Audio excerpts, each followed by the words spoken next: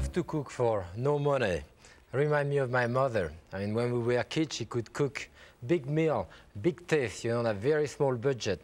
And it's not because you have a small budget that it has to be draggy food or it has to be uh, uninteresting or unattractive or uh, uh, not nutrient. On the contrary, we're doing a terrific soup today. Soup is one of my favorite. And uh, I have all kind of ingredient here. As you can see, I'm going to have yam in it. I'm going to have zucchini. I have onion here. I have uh, mushroom, carrot, leek. And we're going to thicken it at the end with some pasta. We can use other thing. The first thing, I want to clean up that leek. Cut the end of it. People tend to waste out of the leek. They just cut it here. No, I waste nothing out of the leek. Cut the first the first line, you know, if it's tough and fibrous as this one is, and even this I keep for stock. The second one, I'll cut it about here. I look at it and I see this get tender to about probably here, and this one here, and so forth, this one here. You can see that the leek is getting lighter in color inside, a greener, you know, a lighter green, and that indicates that it is more tender. So this I keep for stock. I wash it, keep it for stock and I use my leek this way. You have to split the leek in half, stand it up like that is the best way, go right through and split it right to open it. And it is in the center of it. As you can see it's nice and tender that you have all the dirt. So that I have to wash. So I'm going to wash it right here. And you know a leek like that a large leek uh, does quite a lot with it. There is nothing which beats the taste of leek you know, you can use the scallion and you can use the onion and it's fine, you know, but it doesn't exactly have the taste of leek for me. So we're going to start uh, with a little bit of olive oil here, and I have some onion. I'll start with the onion and the leek to brown in there. The leek, cut it in half, gather it together here, and we're going to slice it into pieces. One of the greatest dish for me is leek vinaigrette, you know? And again, talking about budget, I cook leek in water, I keep the water and I put pasta in it to make a soup, and I remove the leek and do that with a kind of mustard sauce, you know? A good mustard, a bit of vinegar, some olive oil, it's terrific. Especially if you serve it lukewarm, you know? So that, we put that in there. I bet you that that leek has at least two cups, two, two and a half cups. So I have a lot of green vegetable, root vegetable, as well as uh, uh, above the earth vegetable, you know. So this mushroom, you know, very often on a budget, I'll go to the to the, the supermarket where I live, and I go to a corner of the supermarket where they have leftover vegetable. And often I'm going to buy uh, mushroom this way. The mushroom are getting a bit soft, they're getting a bit black underneath, fine. They are terrific for uh, saute, for soup. In fact, the, the mushroom, which are a bit dark underneath, have more taste than the bottom mushroom. It's like a fruit, you know, which is older and has more taste. So we have our uh, vegetable. I have a little bit of butter in that uh, soup that I could put now, and if you want to omit it, you can even omit it. I have a tablespoon. You can also put it at the end. A good idea too put it at the beginning because at the end I tend to forget it. So, okay, the rest of the vegetable here, and you know it doesn't have to be exactly what I have here. You know, uh, I have uh, zucchini and uh, and carrot and so forth. This seems a lot, but it's going to melt in the cooking process a lot. You know, whatever you have, cabbage, onion in your refrigerator, that's what I put in soup. The water now, stir it, and our water.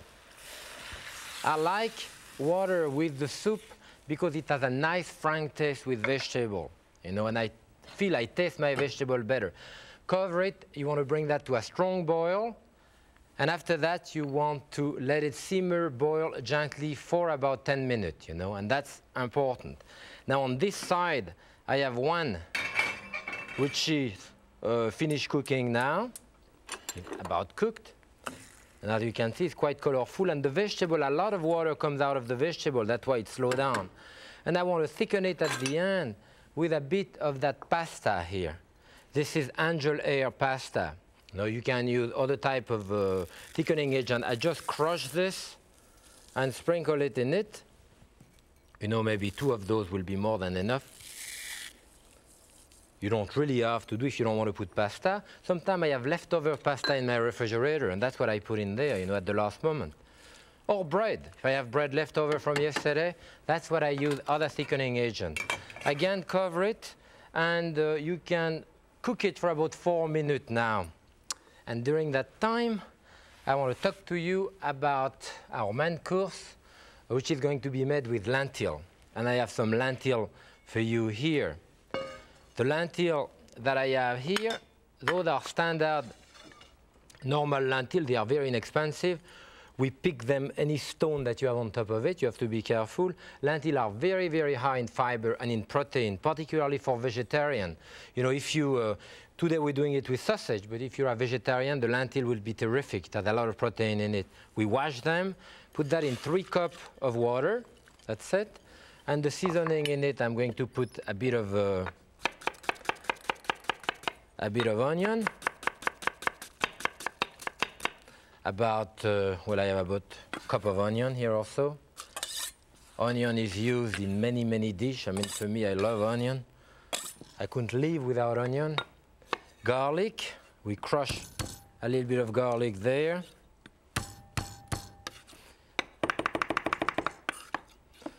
Chop a bit of chopped garlic into this a few bay leaf, you know, the bay leaf or bay laurel. Get a lot of taste in there. And those three cup, a dash of salt, and those three cup of lentil will absorb. I mean, the, the, the, the lentil that I have here, half a pound, will absorb those three cup of liquid, you know. Just to finish about empty. Again, we don't losing anything. So you bring that to a boil, and that's going to cook for about uh, 30, 35 minutes. You can see here I have other type of lentil. This is the one that I use today. They are perfectly fine.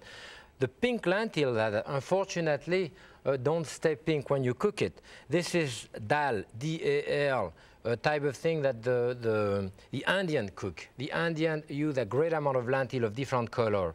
This is a French lentil we call lentilles du Puy. It comes from a town in the center of France. It's dark green and very, very uh, fine, but uh, unfortunately a bit more expensive. Uh, now I want to check on my soup. And uh, those pasta, you know, cook very fast. And now I have a, quite an earthy, you know, nice terrific soup. This is, if I had to choose one soup that I like more than anything else, I probably would say vegetable soup with either pasta or bread in it, you know. And again, as I say, I put a tablespoon of butter, bit of oil, you can eliminate the butter and you will be left with a very, very low calorie type of dish, very high in fiber, with all of those vegetables. And it's done quite fast. So we are going to do, our recipe are for four, and as you can see, this is quite generous uh, for four. So we'll have a nice bowl of soup here. Beautiful color, maybe a bit of herb on top of it for color. And this is our first course today. And you talk about budget food, you know, there is nothing like soup for budget. You can do a lot with what's left in your refrigerator. Look at that here. I have a bunch of leftover vegetable, wilted tomato, I have some onion, I have a scallion, a piece of celery, piece of carrot, a piece of zucchini, cabbage, any of this you can use it. You know, the longest part to do the soup is to have the water come to a boil. I have two cups of water coming to a boil here. I can take a cheese grater, take any leftover of those vegetables, you know, and as I said, the first thing that I do, I put the water on the stove to come to a boil. And it will take the time that I am boiling those vegetables, the water will barely be boiling. Now, there is a big other fallacy about soup. As you can see, the one that I've did before, you need water. That is, I put water. Many people think that there is no way you can do a soup if you don't have stock. And that's not what do. I most of the time, I will use water. I like the taste of water. The second fallacy, of course, is that people believe it has to boil for hours and hours. And as you see in a vegetable soup, 10, 12 minutes of cooking, sometimes even less than that, and that's enough. I have the scallion, I always have scallion in my refrigerator. you know, cut that into pieces. Of course, the smaller you cut it, the faster it's going to cook. Celery is very good too. I always have pieces of celery which are a bit wilted, you know, and it's fine. People won't know it's wilted by the time it's cooked. So you can see here, with like two cup of water, I have about two cup of vegetable here, a nice color too, and very nutrient and a lot of fiber. I can take this there, put that in, and I tell you, because it is grated fine on a grater like this, by the time it comes back to a boil, it's cooked, you know? What do you do next? You want a bit of thickening agent? You can use this. Like here, I have tapioca. So I can put some tapioca in it. I can also put uh, rice. I have rice here. Or pearl barley. Of course, if you put pearl barley, it takes a while to cook. The rice also will take a while to cook, but a couple of tablespoons of tapioca like that are going to cook in three, four minutes. You have a terrific soup for no money at all, full of fiber, and terrific to eat. And now I want to show you how to make sausage, sausage with cabbage. Actually, I have a few which are made here, and I'm going to put them on the grill right away to cook. Huh? Here. They're going to take a little while to cook. And while they are cooking, I want to explain to you how I made it. Quite simple. Uh, I have cabbage here, and you can have, this is a beautiful Savoy cabbage, so it's nice. Take the large leaf of that cabbage. What we do actually, we put it into boiling water, you know? And in the boiling water, it will get wilted. And that's what you want to do, wilted and slightly cooked. And you will blanch it maybe five minutes, you know? That's what you want to do. And now, the inside, I mean the sausage mixture. I have here some ground pork. And of course, ground pork may be fatty. It depends on the type of meat that you buy. I like to ground it myself. I ground this one and it's quite lean. So if you really trim your meat a lot, then you know the meat can be quite lean. Of course, what you buy is pretty fatty. If you really want it very, very lean, then you can do it with sausage or something else too. What counts is a nice, strong seasoning. And I have here different type of seasoning. I have uh, those seed here, and those are fennel seed. And next to it, I have uh, cumin, cumin powder, then cayenne, which is very strong. I have allspice, and I have cor coriander. All of that are strong seasoning. And in to add moisture to the sausage, in addition, I put a little bit of I put a little bit of uh, mushroom in it. And I could have wild mushroom in there, of course. On that budget food, I am more inclined to put a couple of mushrooms that I may have left over or buy in the supermarket where they have wilted vegetable. Actually, if you don't have the mushroom, it's fine. You know, you don't have to put mushroom, absolutely. Then I put all my seasoning in there you know, cayenne strong, and of course a bit of salt, and you can even put a little bit of pepper. Remember, I have cayenne, but I mean the cayenne actually and black pepper is different in taste, you know. And you mix it. Yeah? Mix it well, and you know it is very good to do your sausage mixture ahead. I tell you, I uh, do sausage and I season it and let them several days to macerate and develop taste. Now, if you do that ahead, however, don't put the mushroom in it. If you put the mushroom in it, they're going to bleed, and render water is going to bleed through your sausage mix. But if you are going to use them within the next day, you can put your um, mushroom in it.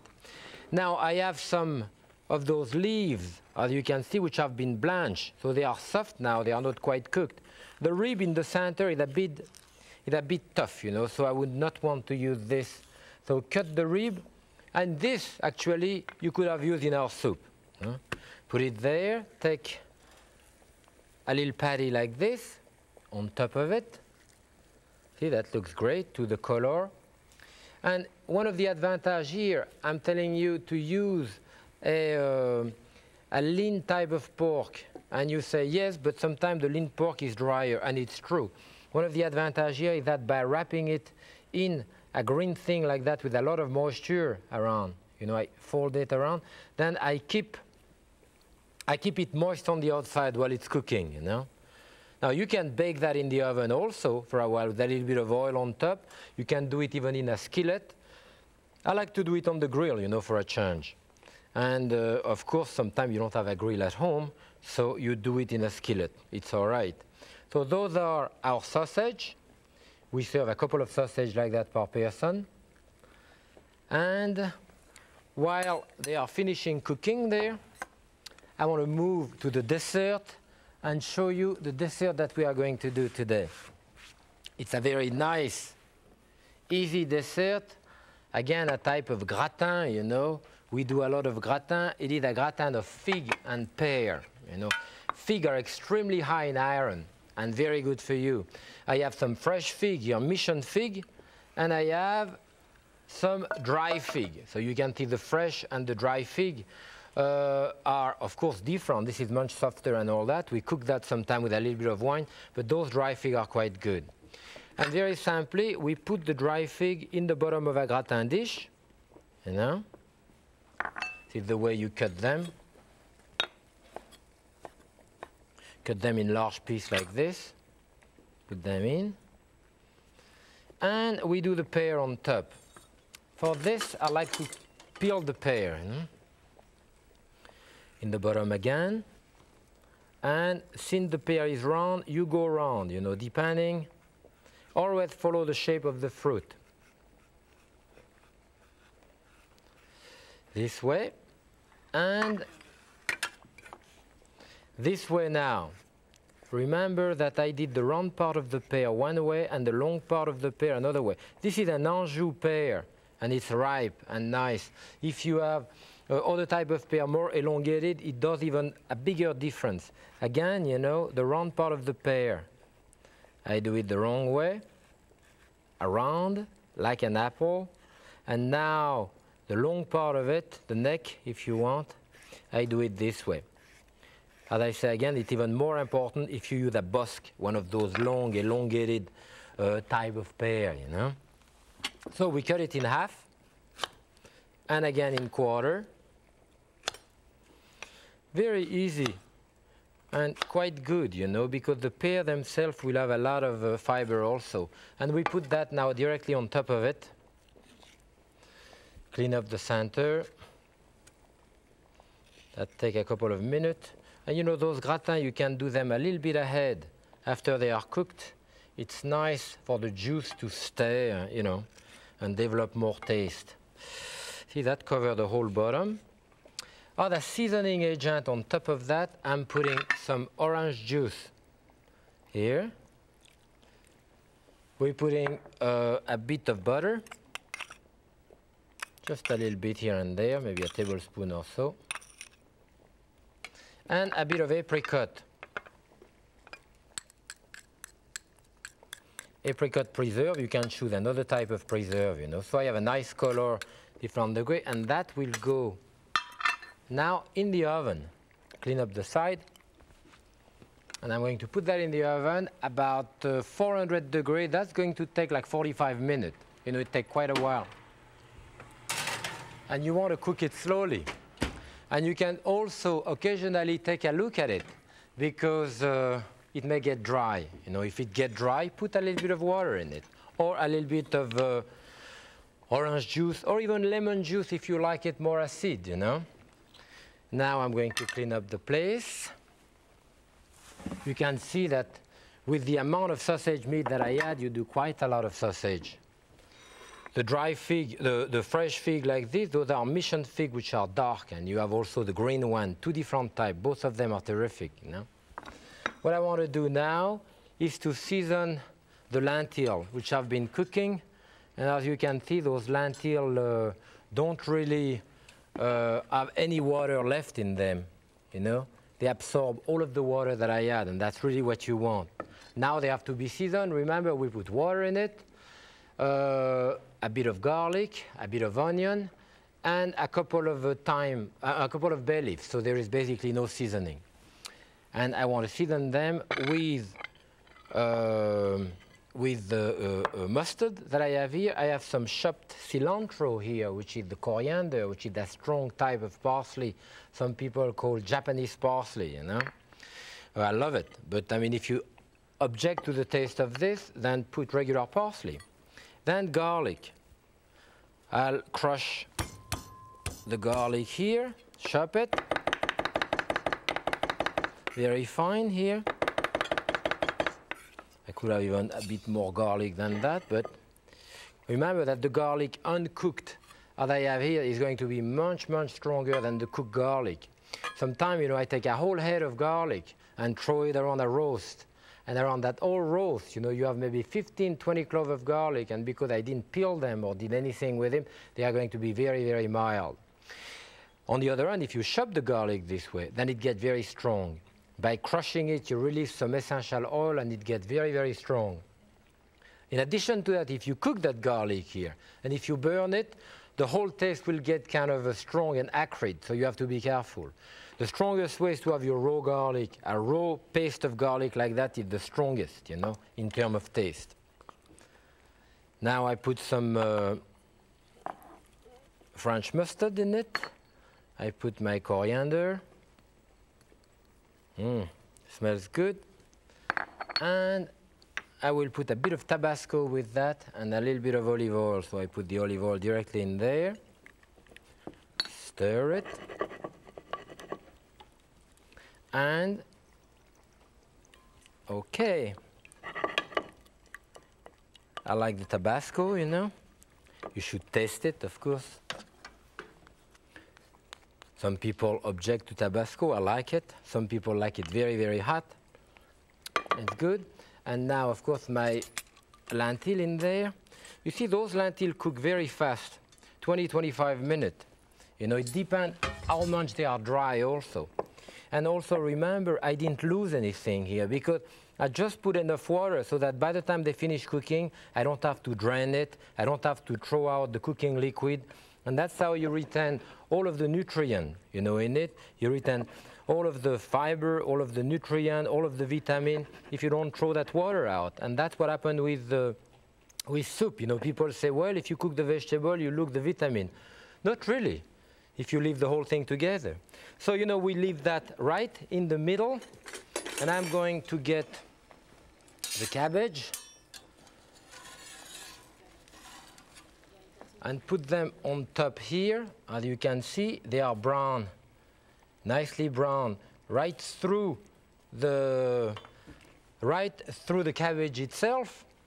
And uh, you can serve that lukewarm the way it is now. In my opinion, this is the way I like it the best. Now let's get our dessert in the oven and enjoy our budget meal. I have the beautiful gratin here, and I want to bring that and serve it directly at the table. I like to serve at the table occasionally.